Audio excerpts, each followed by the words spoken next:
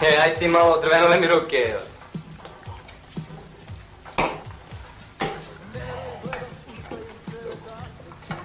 Znaš da i Saška ide u Australiju? E, kad?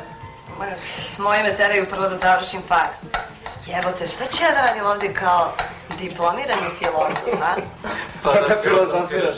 Aj, čovječe, čim skupim lovu za kartu, ja palim. Mogu bi to pozvati nešto. Čovječe, idem rodbinu u Sidneju, idem bolima muž.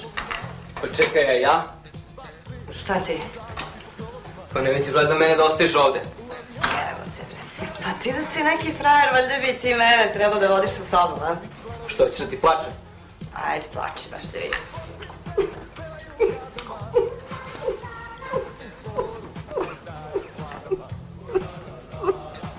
Čoveče.